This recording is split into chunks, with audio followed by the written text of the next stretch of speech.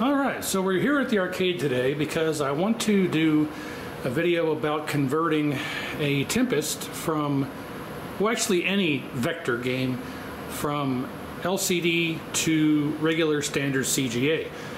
So as we can see, we have a fully working Tempest here. Uh, the original uh, Wells Gardner 6100 that was in here, the tube got necked, so it was a goner. And of course, there's no way to simply just go online and find a vector monitor. I mean, the CGA monitors are a dime a dozen. Even as rare as they are, they're still pretty much a dime a dozen. But as far as a vector monitor, uh, yeah, good luck. Uh, the, the, people out there who have them aren't going to let them go for any decent price. Uh, so just being able to find a vector monitor is pretty much darn near impossible unless you want to pay out the wazoo. Like I say, those who have them, who might have an extra one, are certainly probably not going to want to get rid of them or sell it. So for this instance, I was able to get one of the uh, first runs of the Vector VGA that converts the vector graphics to VGA. As you can see, I have an LCD in here, and it is working perfectly fine with no issues. If we look inside here, we have the vector VGA with the VGA input, I'm sorry, the uh, vector input being converted to VGA out running to the LCD. So the idea here is that let's say you've got a vector game, whether it's Tempest or Star Wars or Major Havoc or uh, what else is out there? Um, I forget here off the moment, but you got a vector game, uh, Star Wars. Did I mention that? I forget. Anyway, you got a vector game and it works, but there's no monitor. Uh, your your current monitor is either dead, uh, you can't fix it, you can't find anyone to fix it. There are people out there that can do it, but uh, you don't want to deal with the hassle or you're missing the monitor completely or it's broken or for whatever reason you are unable to acquire or work on or fix or get a working vector monitor. Ideally you would just find a VGA CRT but 19 inch VGA CRTs are pretty rare unless you steal one out of a Megatouch or something like that.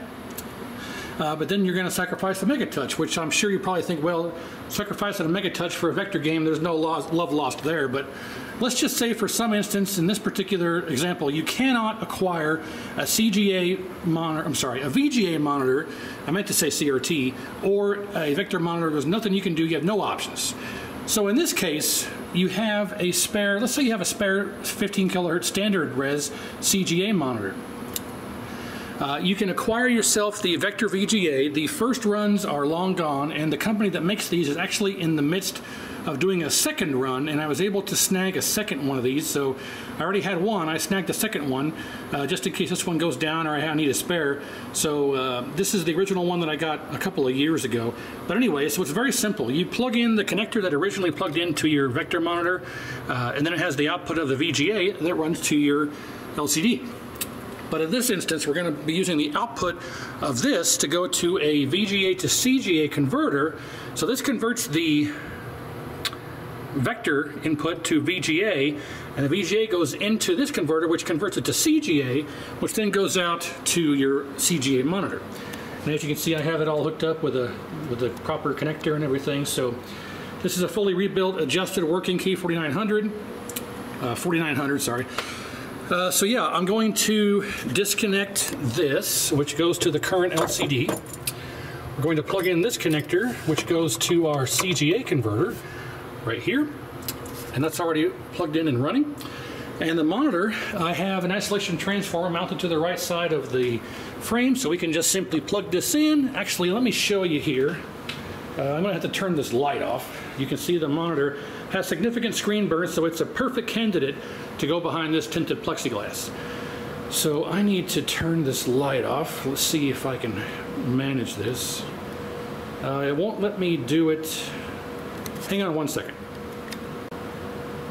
Okay, there we go. Got the light off. All right, so now uh, we will simply plug the monitor in and magic shall happen.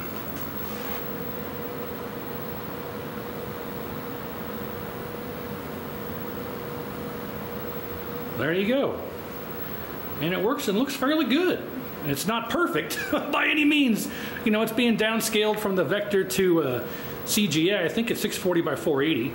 But, I mean, the true test will be to get it behind the Plexi and see what it looks like behind the Plexi. But in a perfect world, you would just get a VGA 19 inch CRT and throw it in there. But again, if you not if you don't have that option and you have an extra one of these laying around, you can get yourself the Vector VGA converter and then the CGA to, VGA to CGA, those two converters, and you'd be in business.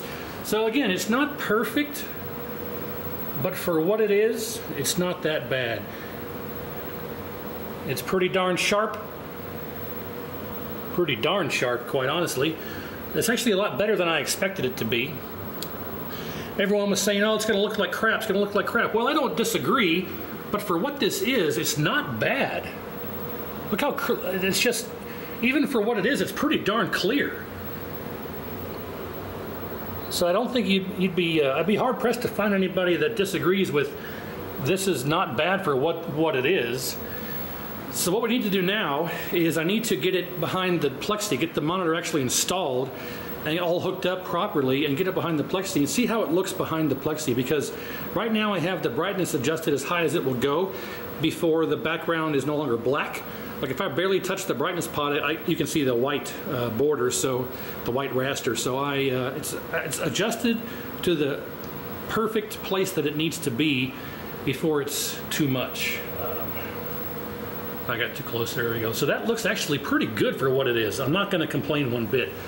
So in an emergency, if you can't get yourself a proper monitor, you can throw a 15 inch standard res CGA monitor in your vector game via the vector VGA converter and the VGA to CGA converter. I turned the light off, sorry, here. Uh, yeah, so there you go. Of course, this is just sitting here, but I need to figure out a way to wire in the monitor. Um, I can just tap into the 115 uh, right off the power supply or what's going up to the uh, marquee, whatever I want to do, because it has the isolation transformer mounted to the right, just right to the, side of the frame there. So, yeah, I'm going to get this all installed to a, a proper uh, venue here, get it all looking nice and good and, and wired up and installed. Then we'll check out and see what it looks like behind the tinted plexi. So here we go.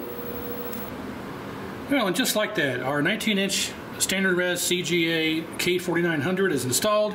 I have relocated the isolation transformer from the frame down to the uh, shelf there, nice and secure. And I relocated the switching power supply to above the original power supply there because the wires for the uh, CGA converter there were a bit too short, so I relocated that. Got it all wired up and secure and uh, tied up and cable managed, and the Vector VGA is right there. And I ripped the sticker a bit, but no big deal. So we're all hooked up and ready to go, uh, and everything is done. So let's go ahead and turn the power on here and everything comes on. And there you have it. Amazing. It's not that bad. So of course you can see the screen burn, but this was this uh, I picked this too because it was a perfect candidate to go behind the, the tinted plexi. And if you look here, it really is just not that bad. I keep saying that, but it really isn't. Everybody was skeptical, oh, it looked like garbage, it looked like garbage. Well, granted, it doesn't look that great, but it does look pretty darn good for what it is. So, yeah, I think uh, this will suffice just fine. Let's see what it looks like with the tinted plexi installed. This may be a bit difficult here the one hand I gotta try and do this with. Yeah, there you go. Let me uh, hit the light here.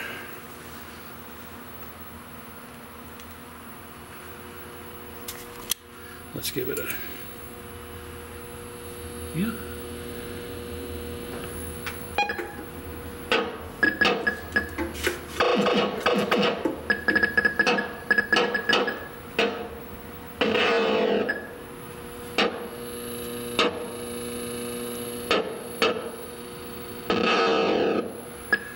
Gotta say that, uh, oh, kill me here. I gotta say, this is a pretty darn good turnout for my personal uh, opinion. So if you have, uh, if you're in dire straits and all you have is a regular standard res CGA and you want to put it in your uh, vector game, you absolutely can. And it'll work and look pretty good. Still pretty sharp. yeah, I say this is a, in my opinion, this is a winner.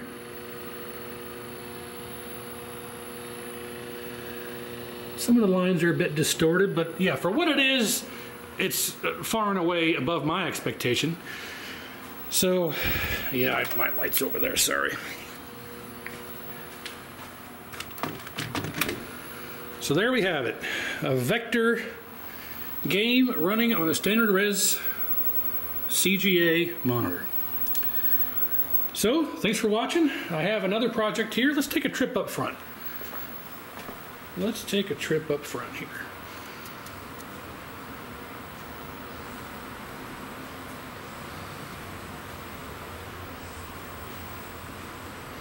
Yeah.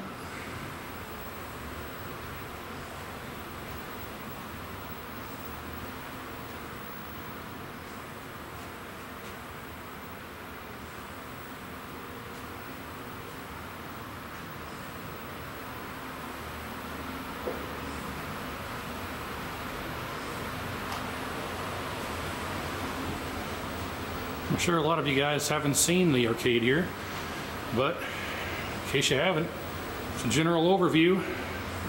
Got about 100 machines, and there's a bunch more on that side, but up front here, uh, Zaxxon and Missile Command and Namco Football and Mega Touch, and over here I have a Toobin, and this has a LCD in, in it as well.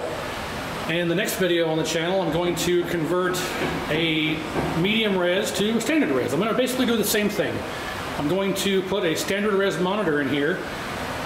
I'm going to use an EGA to VGA converter and then a VGA to CGA converter. Basically, I'm, I'm going to use two converters like I just used in the Tempest there to convert the medium res to VGA via the converter and then from the VGA to CGA to, on the different converter, and that will allow me to use a standard res monitor in this Toobin.